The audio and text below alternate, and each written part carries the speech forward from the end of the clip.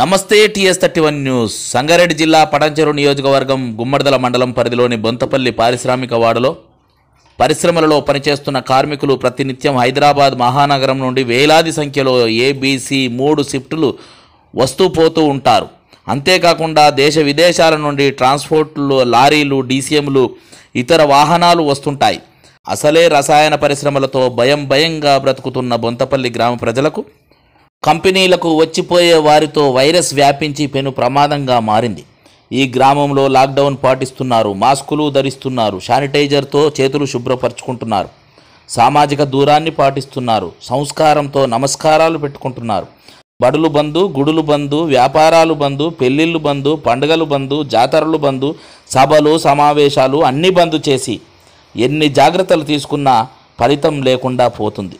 ఇందుకు కారణం దేశ విదేశాల నుండి ఎగుమతి చేసే ట్రాన్స్పోర్ట్లది. హైదరాబాద్ మహానగరం నుండి రోజు వచ్చిపోయే కార్మికుల ప్రభావం ఎక్కువ శాతం ఈ- కంపెనీలలో ప్రభావం చూపుతున్నది. జిల్లా యంత్రాంగం ఇకనైనా స్పందించి కనీసం ఇకనైనా కంపెనీలలో కరోనా టెస్టులు నిర్వహించాలని గ్రామస్తులు కోరుతున్నారు.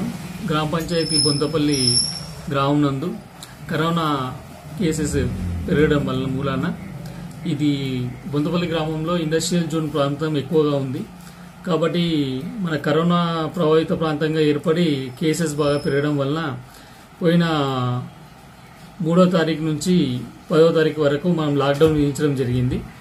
అయితే ఎట్టి- పరిస్థితుల్లో కిరాణా షాపులు కానీ ఇవి కానీ తెరవకూడదని వాళ్ళకి స్ట్రిక్ట్గా ఆర్డర్ అమలు చేసి ఈ పది రోజులు పడబందీగా లాక్డౌన్ చేయడం జరిగింది.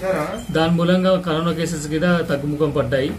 ఇటు విషయంలో ప్రజలకు అప్రమత్తంగా ఉండి పరిసర ప్రాంతాలను పరిశుభ్రంగా ఉంచుకొని మరియు మాస్కులు ధరించకుండా బయటకు వెళ్ళరాని కఠినంగా వాళ్ళకు నిర్ణయాలు తెలియజేయడం జరిగింది. ప్రజలందరూ సహకరించి దాన్ని పాటించడం జరిగింది. సహకరించిన వ్యాపారవేత్తలకు కానీ ప్రజలకు కానీ ప్రత్యేక ధన్యవాదాలు తెలియజేస్తున్నాము.